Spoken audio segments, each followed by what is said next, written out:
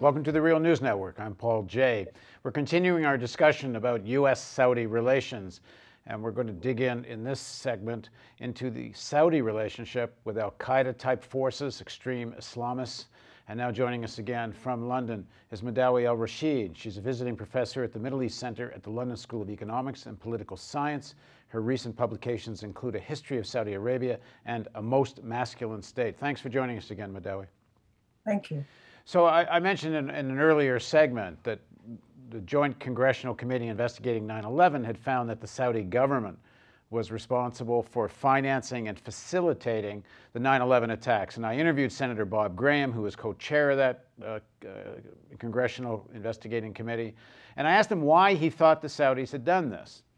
And his answer was that Bin Laden had told the uh, Saudi uh, king or the Saudi royal regime that he had 10,000 fighters that he could send to Saudi Arabia to try to develop an uprising against the Saudi uh, royal family if they didn't help him launch these attacks.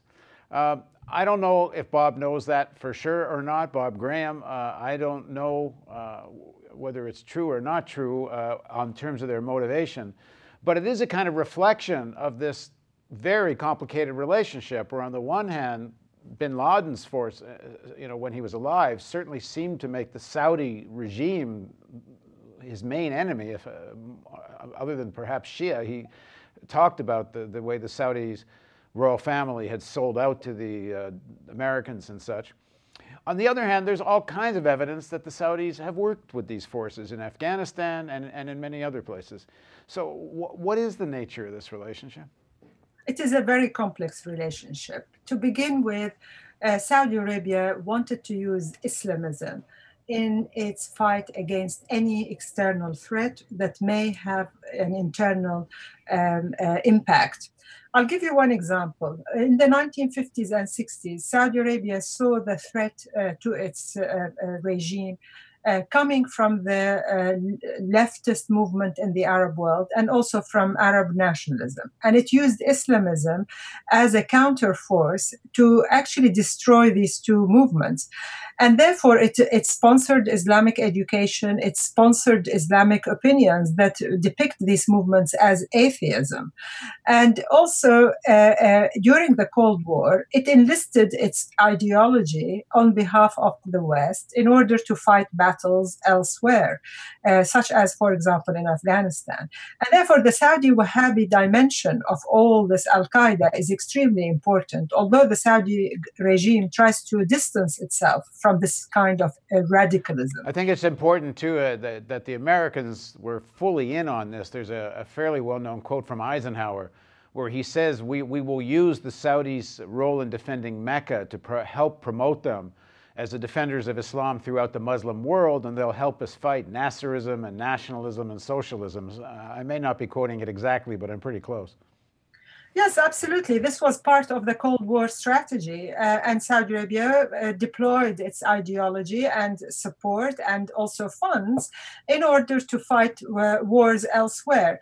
But the problem for Saudi Arabia is when this ideology came back to haunt uh, uh, uh, the country itself.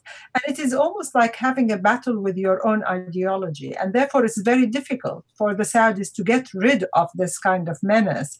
Um, and they haven't learned lessons from 9 11. So if you look at what is going on in Syria now, uh, in Syria, they have uh, created, the Saudis have created armed uh, rebels uh, who are actually uh, uh, almost working on behalf of the Saudis in Syria. So the, the Syrian revolution was derailed and uh, lost its democratic uh, slogans, and now it became a sectarian war between different groups, Shia and the Sunnis. And, and with Saudi intervention, we find that the, the rebels who were promoted were called the Islamic Front.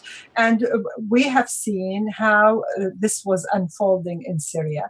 Um, until recently, Saudi Arabia allowed uh, uh, uh, its own young men to travel to Syria, or if it didn't allow them, it kept a blind eye.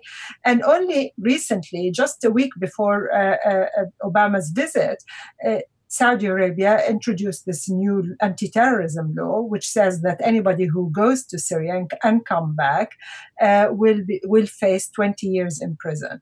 And the interesting thing is uh, yes, uh, we may keep a blind eye uh, on those people going, but we're going to arrest them when they come back. But there was no effort that was uh, obvious to me that they will make sure they do not go there to fight. Uh, well, it may be that the, they're going to make them stay there and fight with a law like that.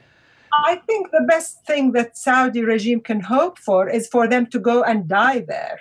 That's that's sort of what I was uh, saying.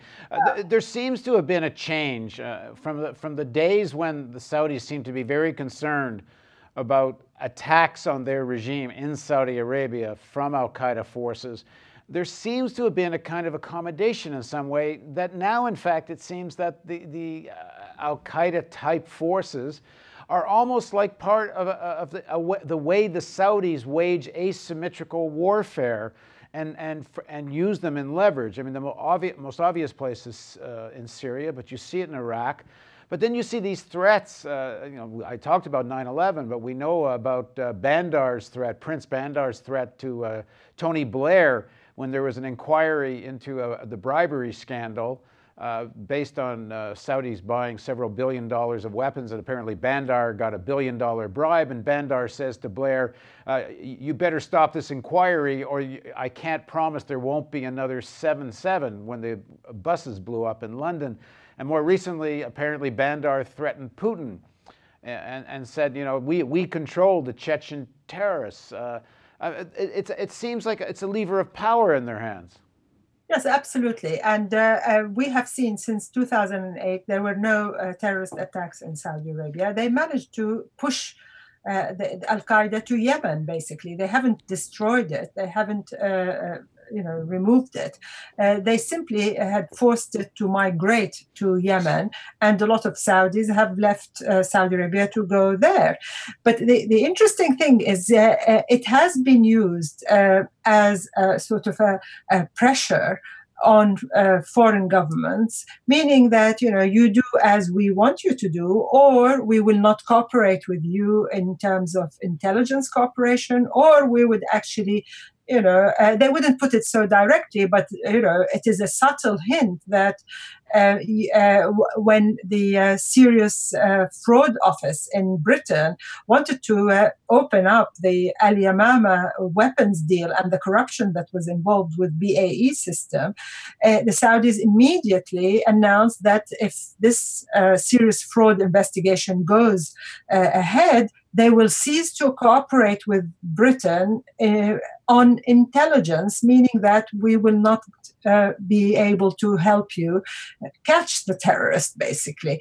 Uh, and it is interesting that they may have had quite a close relationship. They know them uh, so well that they hold information about them that they're only going to release to those other intelligence services that cooperate with the Saudis and also uh, in governments that are supposedly friendly governments. Right, and, and the Saudis, one of the intelligence agencies the Saudis cooperate a lot with is the Pakistani ISI, and the Pakistani ISI seems to play the same game, and you know, collaborate to some extent with the West in anti-terrorist operations. On the other hand, uh, there's lots of evidence the ISI has all kinds of relationship with the uh, Taliban and, and Al Qaeda type forces, and in fact, journalists that have reported on this have been assassinated by, by the ISI, including one that worked with us.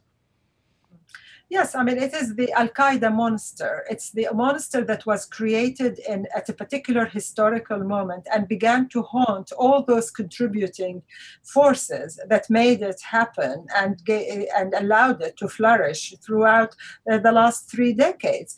Uh, and the Saudis had uh, deployed the same strategy in Syria now, uh, whereby uh, individuals can go and join these rebels. Uh, they kept a blind eye for a long time, but then now when international pressure is mounting because they see how uh, these rebels are uh, really not an alternative to Bashar al Assad, Saudis introduced this new terrorism law in order to deal with this situation. But whether it will actually work, I, I have my doubts. And I guess the Americans have been so part of this policy of working with the extreme Islamists. It's hard, it's, they can't say or don't want to say much about it. Yes, I mean, it, it is a, a, a well known uh, uh, fact now. Uh, know, the archives uh, will be open and uh, declassified information will be available. And future historians will probably write incredible books uh, with uh, concrete evidence. Now we get the information from leaked documents or from journalists who are actually in the field uh, at the time and can report on us where the weapons to so called rebels are coming from and who is sponsoring them. Okay, in the next segment of our interview, we're going to discuss why Saudi Arabia considers Iran such a mortal enemy. Please join us with Madawi Al Rasheed on the Real News Network.